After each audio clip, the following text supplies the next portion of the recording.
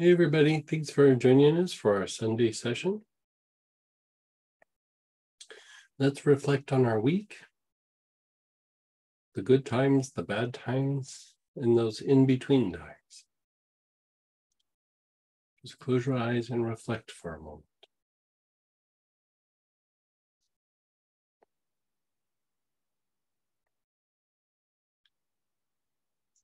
Put your awareness on your heart, the center of your chest. Silently affirm, I'm surrounded by the pure white light. Only good shall come to me. Only good shall go from me. Your awareness is on the center of your chest, the front heart.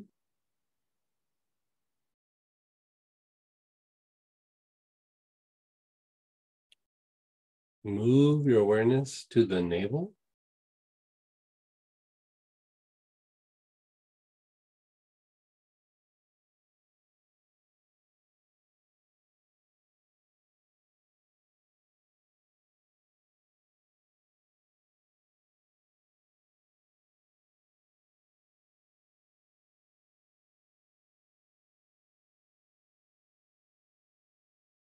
Move your awareness to the crown, the top of your head.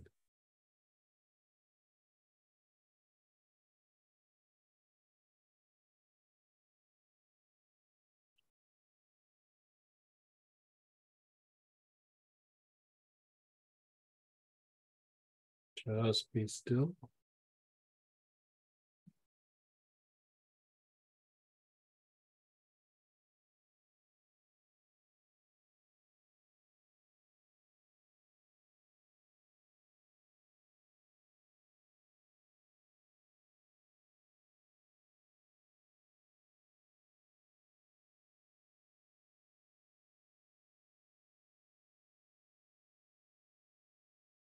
Again, your awareness is on the center of your chest, your front part. You're taking long, slow, deep breaths.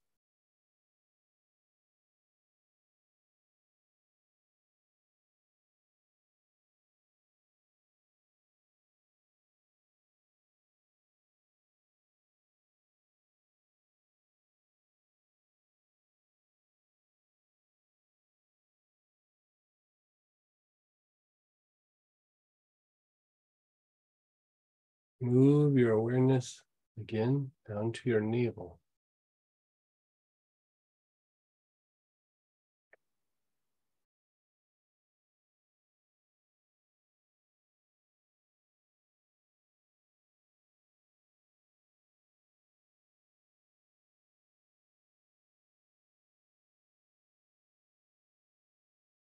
Your awareness is on your navel.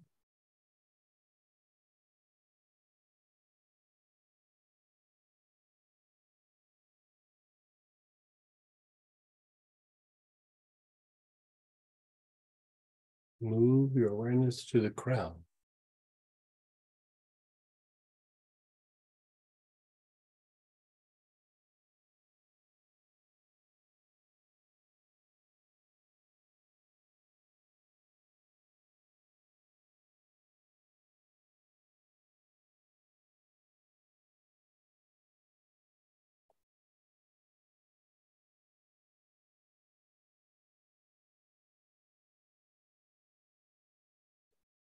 Just let go.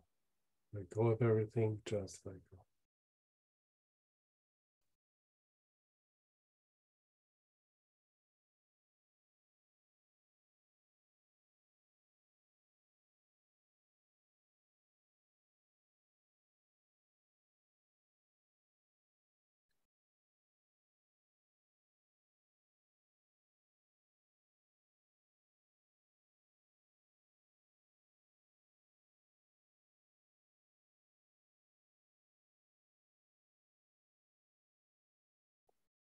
I'm surrounded by the pure white light. Only good shall come to me. Only good shall go from me. Your awareness is on your front heart, the center of your chest.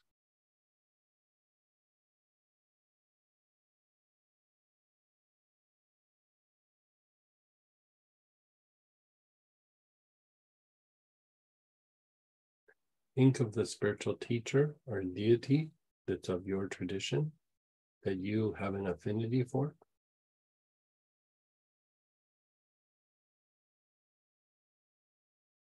As you contemplate this deity or great teacher, keep your awareness on your front heart.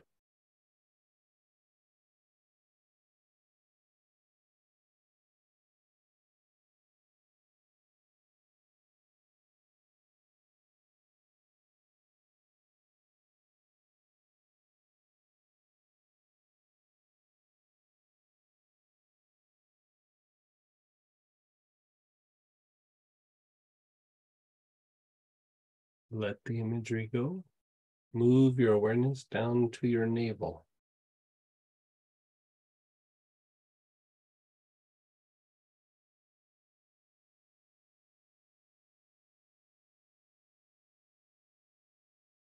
You're taking long, slow, deep breaths.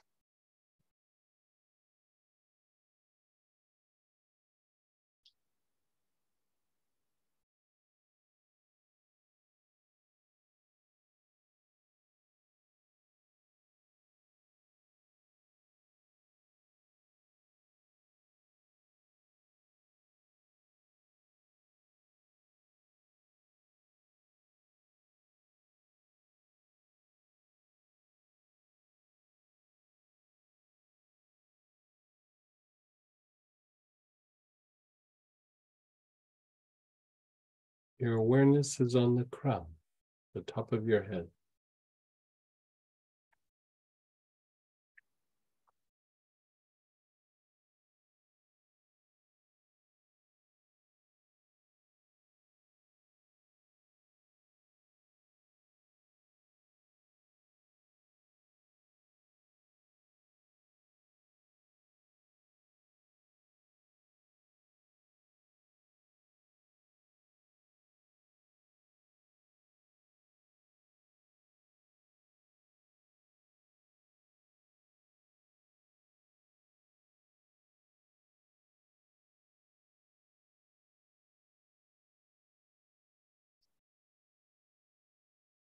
Your awareness is on your crown.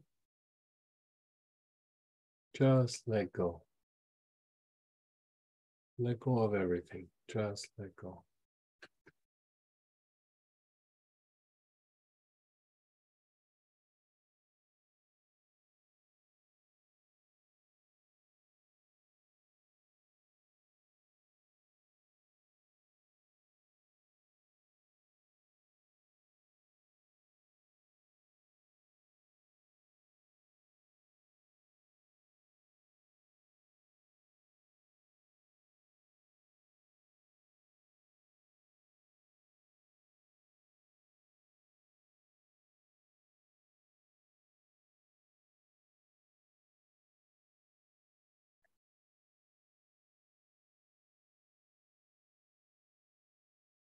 Your awareness is on your heart, the center of your chest.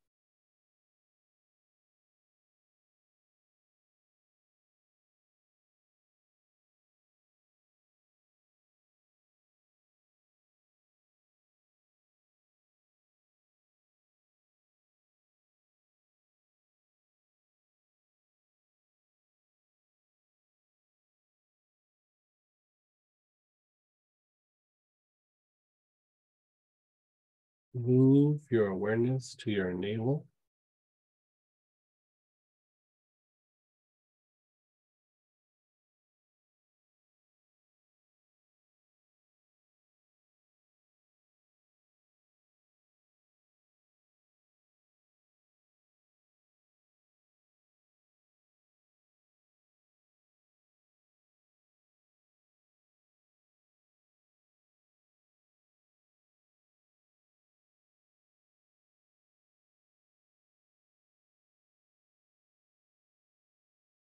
your crown.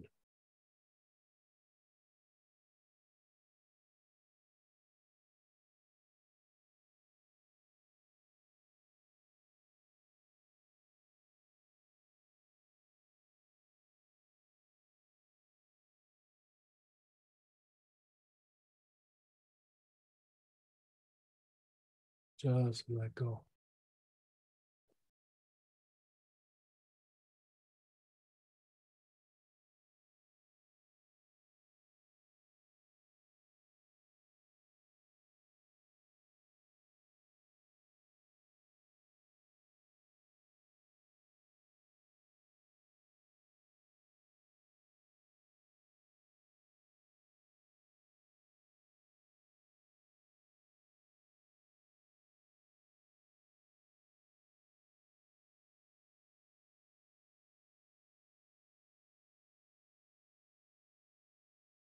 The Supreme God, Divine Mother, Divine Father, to all the great ones, all the holy ones, all the ancient ones, holy saints, holy angels, holy gurus, spiritual helpers, to the beings of light.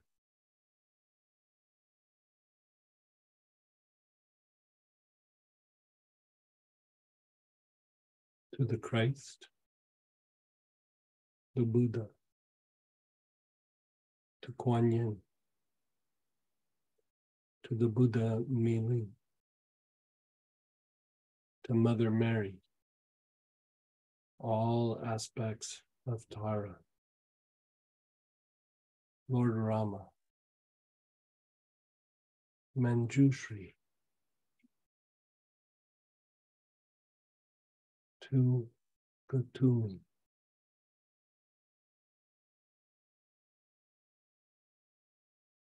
Thank you for your blessings. Thank you for your presence. We humbly ask that your blessings in your presence flow through all areas of our lives,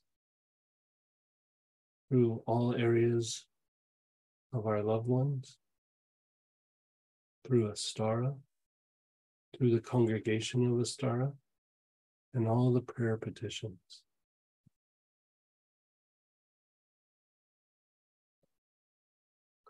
To the chaos in the world, people who are entangled and pulled away from the light, let them too know this presence, these blessings.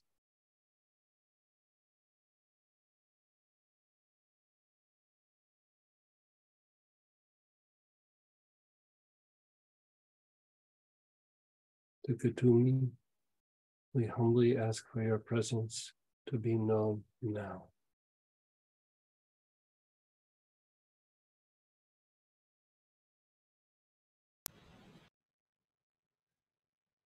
As we come closer to this presence,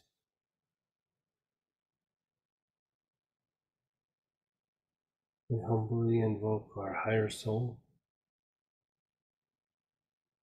our mind, our emotions, our body be here now. In this presence, be here now.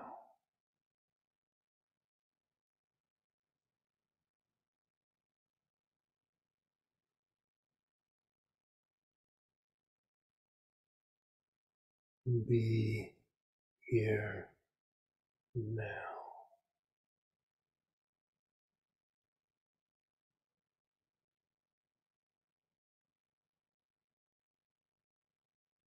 Om Mani Padme Hum. This is my wish. This is my prayer. This is my desire. In the presence of Kuthumi, I humbly say, Be here now.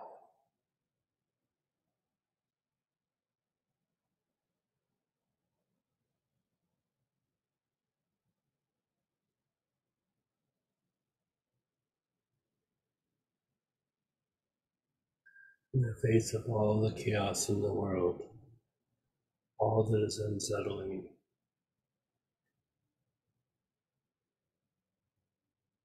come to this presence of the Kuthumi and I humbly say, Be here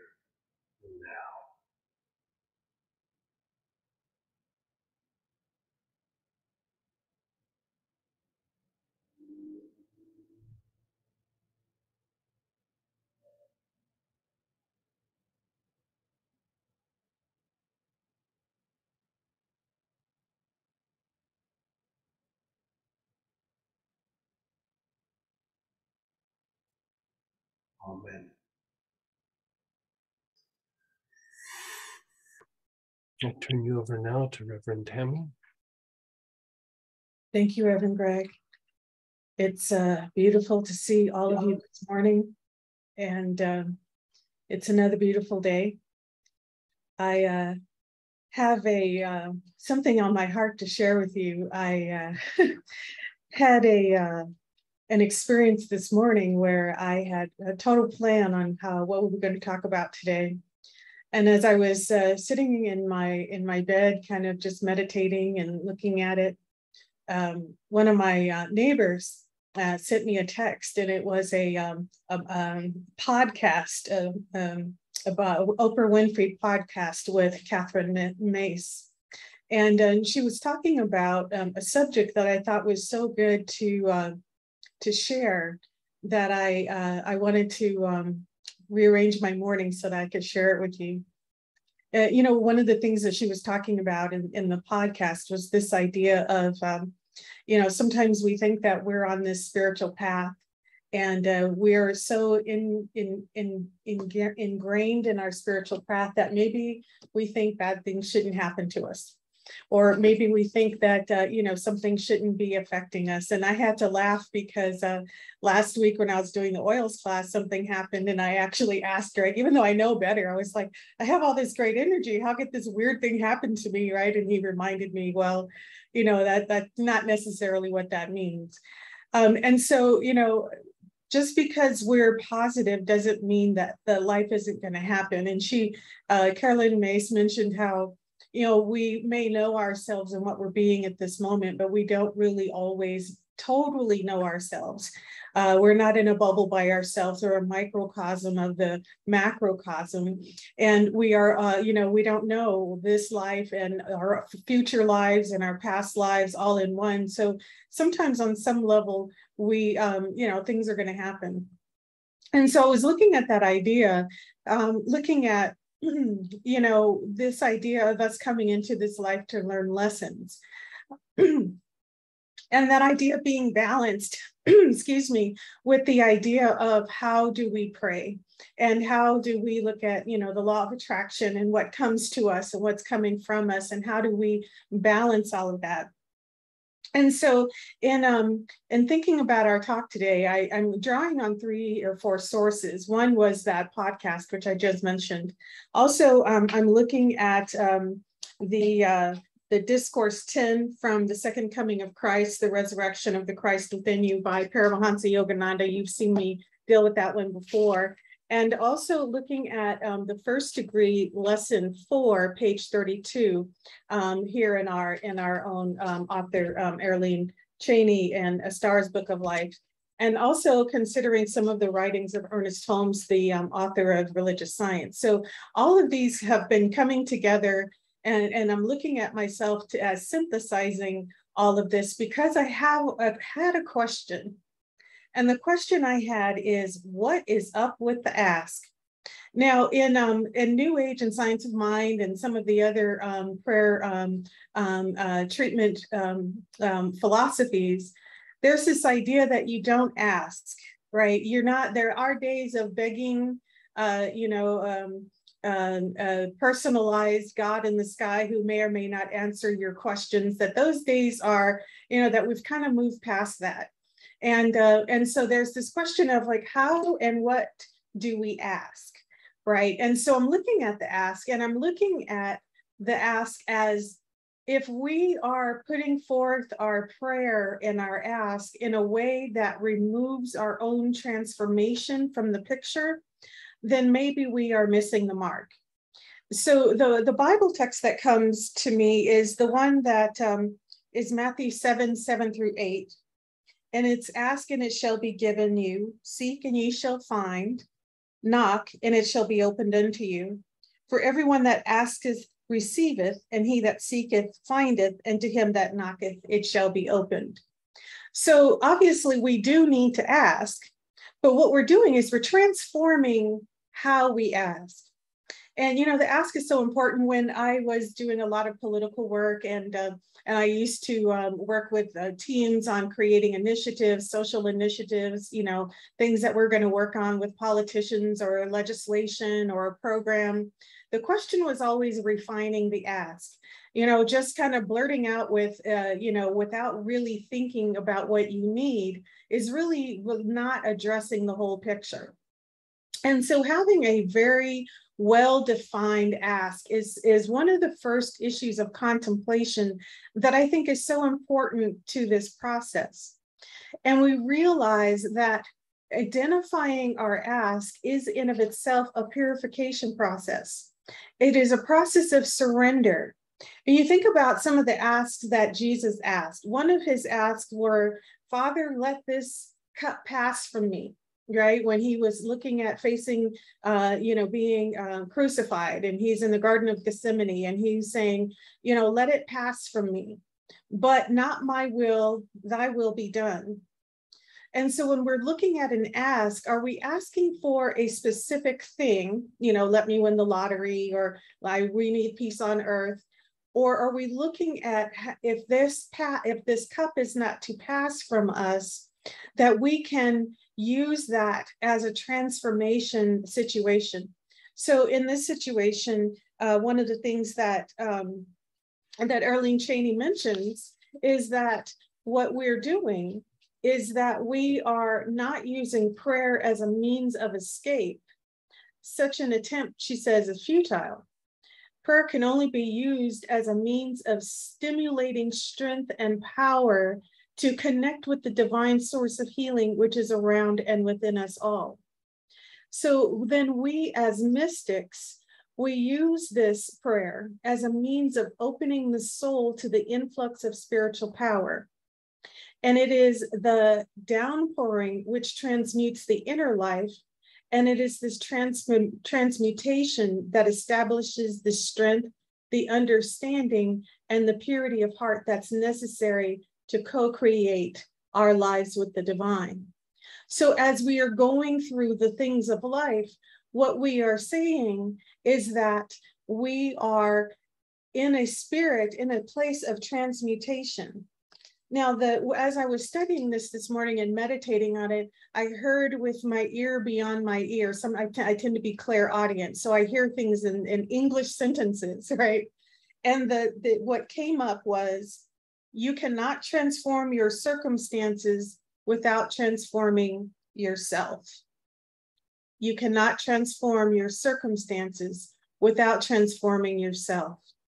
In, in Science of Mind, um, Ernest Holmes talks about um, a similar idea. And the idea is God can only do for you what God can do through you. God can only do for you what, uh, what God can do through you. So in this, in this idea of ask and ye shall receive, seek and ye shall find, knock and the door will be opened. The first thing we're doing is refining our ask we're not looking to escape life. What we're looking to do is to, um, and Earlyne says, though God may not cause our cup to pass from us, the divine being will unquestionably give us strength to drink the sacred waters and can transform the drinking of it from crucifixion to ascension. So the cup that we are drinking, we bring in this divine light, knowing that the cup that we are dealing with right now becomes sacred waters that we are drinking. And that we transform the situation that feels like something we did not want. It transforms into from a situation of being crucified to something of that is causing our ascension and we think about this, uh, one of the things that, that Greg had mentioned to me uh, last week uh, when he gently admonished me that just because, you know, I felt like I was high on the hog on the light did not mean that something weird was not going to happen. He reminded me that Jesus allowed himself to be crucified. But in this situation, what was the effect of it? There was an ascension that caused a a spiritual alchemy from which we can all drink of that sacred water. So we are all in this space of this divine salvation that's flowing through our blood, this transmutation, this, this purification that is flowing through us. And we have this example one of many spiritual examples of this transmutation of what feels like a, a crucifixion into something as that is a profound ascension. So when I look at what's going on in my life, when I look at what's going on in the world, and it looks and feels like crucifixion, I am reminded that I am drinking of these sacred waters, and that in this space that I am the embodiment and the flow and a releasing of everything in me not like that so that this situation is transformed and transmuted. Now, one of the things that we're looking at is when we look at the ask, not only are we transforming ourselves from not necessarily let this cup pass from me, but have me be bigger than the thing that I want to transmute. Now, how do I know what I want to transmute? You know there's there's the the kind of prayer you know that i'm sure my family prays a lot let the steelers win the the super bowl right? There's that prayer right?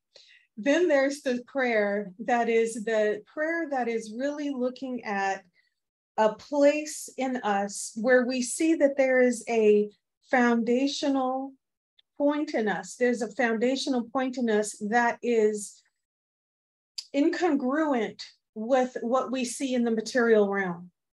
And we go to that place in us and we see it doesn't have to be a glaring wrong.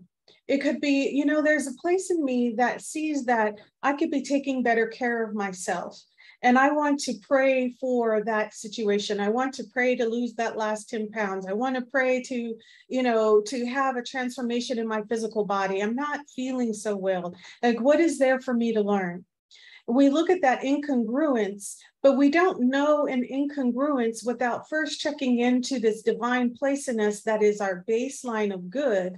And we compare what's going on in our lives or in the world and say, there's an incongruence between this goodness, this light, this right path, this divine blueprint of health for me, this divine blueprint of health for the world.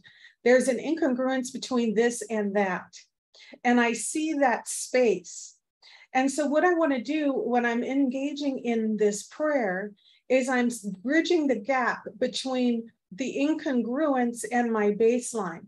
I'm making my baseline such that I am such an align in alignment with the with the with the divine light that I no longer am willing to believe that that space has any power. The space between the thing, the incongruence, and where I am.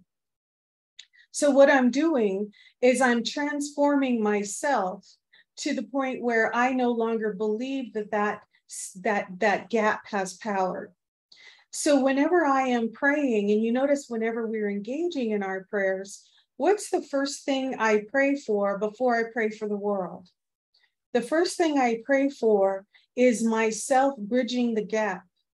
I believe help now my unbelief if there's any part in me that believes that I don't have the power and the space within me to transform my life, to transform the world, to transform my body, to bring light to any situation, if I believe that I don't have that, the first thing that I treat is myself. I bring myself into alignment with that divine power. And that's where we come to the seek part. Remember, it's ask, seek, knock. Where's the seek part of that?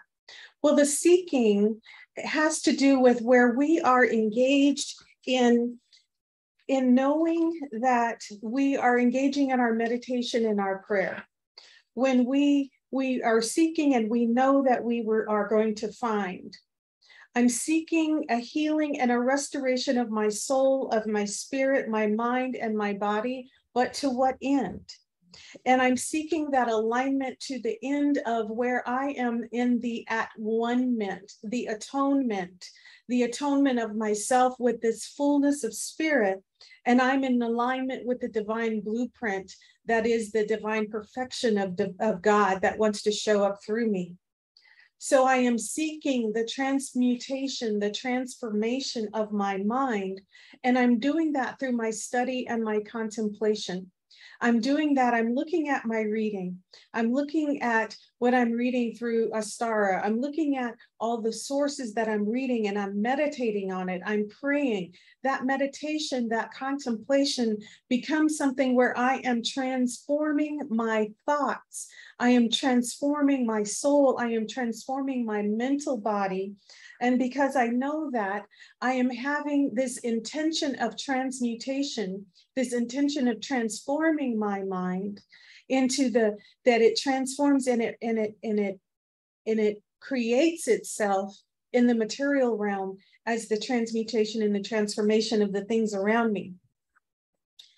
And so what I find is that just the fact that I went into the asking process, just the fact that just the fact that I went into this this identification of the gap between where I am and where what I want, when I identify that gap, I realize that I am being pulled into a desire for light. I am being pulled by spirit. I am being, I am being drawn into the highest expression of spirit through me as I am uh, in, in, incarnated in this life. And so I realize that my ask is a calling that there is spirit is calling to me and I am answering that call and I am seeking and I am finding. And as I am doing that, I am led to knock on the door. So what we are doing is we are knocking on the door. Now, when I am looking at what does it mean to knock on the door of heaven's gate? We are knock, knock, knocking on heaven's door, right? What are we knocking? What is heaven's door? When I'm looking at the um, discourse by Paramahansa Yogananda, he talks about, he quotes Matthew 7, 7 and 8, and says that the right method, with the right method of meditation and devotion, with the eyes closed and concentrated on the spiritual eye, we're talking about the third eye, the devotee knocks, knocks at the gates of heaven. What are the gates of heaven? When the eyes are closed and still, and the breath and mind are calm, a light begins to form in the forehead. Eventually, with deep concentration, the tricolored light of the spiritual eye becomes visible. Just seeing the single eye is enough. It is more difficult to go into that light, but we have these higher forms of prayer. We have these higher forms of yoga. We have our spiritual practices. What we're talking about is going into the third eye for those of us who have been in this uh, conversation, we're talking about going into, but, into our ajna and going deep into the center of our head and knowing that there is that blue pearl, that blue light. That is our heaven's gate. So we knock on the gates of heaven with our meditation. We go into this divine gate of heaven by knocking on the door, knowing that we have before us the deeper teachings that tell us that this door is open to us, and we approach that with the highest and most beautiful of light, knowing we are only white light and that we have this gate to heaven right within us. So as we knock on heaven's door, what we see. And we start looking around us and we start seeing images that this isn't a new idea. This is something that has been taught to us by the by the ancients. We look at the pictures of lord krishna and we see the two eyes and we see the third eye. And we see that this this two eyes and the third eye represent that god's power of dissolution for the renewal of created forms so, so often the crucifixion, the thing that's being diluted, is something in the material realm that needs to dissolve so that we can approach this higher ascension. And this example is this lesson is taught to us in this image of this third eye within us, this knocking on heaven's door. And um, Paramahansa Yogananda also points out that when we look at astral beings, that they will have a third eye, they will have two eyes that are looking um, dimly, but that this third astral eye is the way that we are seeing in the astral realm. And we have that within us. Now, what we are doing as we open these gates to heaven's door is that we are training our nervous system and we are training our nervous system to be able to handle these downpouring of this divine energy and light. And there's a study that uh, Paramahansa points out too, which um, reminds us that, you know, the nervous system is the system within us that is designed to reach into the realm of the spiritual and also into the realm of the physical that as we are engaging in our spiritual and our physical bodies, the nervous system is the way that we are able to um, incorporate both. And right now, Western science is, is starting to blend itself with spiritual science and you look at ideas like quantum physics, and you see that when we are able to have this downpouring of spiritual energy, that our ability to create in the astral realm starts to manifest in the physical realm. And we see things like quantum physics starting to prove that. But what's happening is that the instruments can't measure it. But we as spiritual warriors always knew this. We always knew that the power of the divine that resonates through us is exactly what is causing this physical reality. So as we go through this thing in life, we know that we are releasing, we are transforming, and we are purifying, and that what we are causing is a world that is on a higher astral plane than had than, and it is our true calling that we as divine evolved beings are stepping into this highly evolved world. He even points out that um, some studies are showing that even embryos um, in the physical form start out with one eye that develops into two. So what do we need two eyes for? We need it to be able to see the dimensions in this material realm. So when we when we know that faith is seeing it is a divine seeing that is not dependent on what we see, but it's dependent on what we know in the spirit. We know that that is more true than any appearance that we may have, that may appear before us, that may be showing itself to us and in all its little dark, you know, so in all its darkness, we can know the truth of the matter is. And the truth of the matter is, is that we ask, we seek, we knock. And it is not necessarily one that happens after the other. We do them all at the same time. It is a divine circle, it is a divine cycle. We are always seeking, we are always knocking, we are always in prayer, we are always in the ask. And as one is refined, the other is refined. Because as I refine my ability and my nervous system in the blue pearl, in my third eye, and in my nervous system, every part of me is elevated. As I refine that, what I seek and what I read and what I am able to contemplate deepens. And as I'm deepening that, my ask shifts because I'm no longer asking just for the sports car. I'm asking for the divine essence that has has me enjoy life, that has me enjoy the beauty in life, that has me an, a, approach my ask in a different way. So we see that they all work together and it all works together for our good. So we were reminded that as we are transforming ourselves, we transform our lives. As we transform ourselves, we transform the world around us, the circumstances around us. And because we are of such a level that we are able to be in this conversation of light, when we offer our prayers, when we offer our prayers, when we use our, our, our ajna, when we use our light, we know that our prayers, and I'm just going to ask us all to be in our space, lift your arms up and your hands up. If you have an Ankh or you have a Dorje, use that. We are directing this light through us. This is our most divine prayer. Let this entire situation be filled with light. May my entire body be filled with light. May my astral body in all directions, in all dimensions, through this lifetime and all lifetimes, filled with divine white light of the Christ, with divine infinite light. I call that light through me, expanding to a rate, to a level, to a depth that, ex- that exceeds anything that I have ever done before. And I open myself on complete surrender to this light, knowing that I am the flow, I am the vessel of the divine. And I bring this blessing, this light to the planet, to the entire planet, to the entire cosmos. And I allow that love to unfold. I allow that light to unfold within me. I allow this light to be a blinding white light of divine healing, of divine love, of divine evolution. I call it all good. I draw on this space within me, knowing that there is nothing, no space in me that is not this divine presence.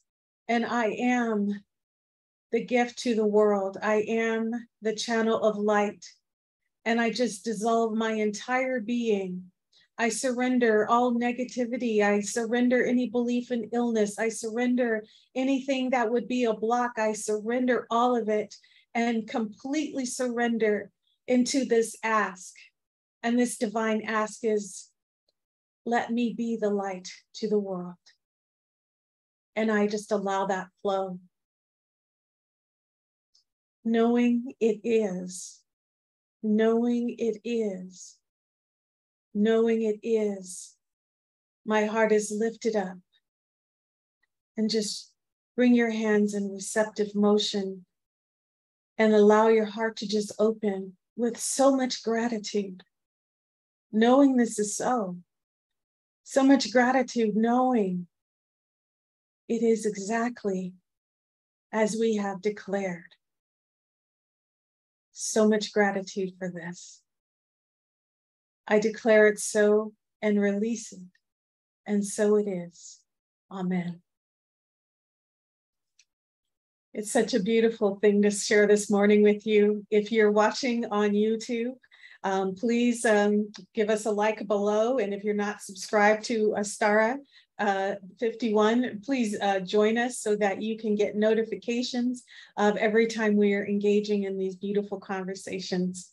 Um, for those of you who have registered on Astara.com and are in the Zoom room, we welcome and invite you to stay with us and let's have a, our community chat and sharing and we'll take any questions and, and uh, we'll just have, we're building community here. So for everyone on the recording, uh, we'll say, uh, we'll see you, uh, we'll see you soon.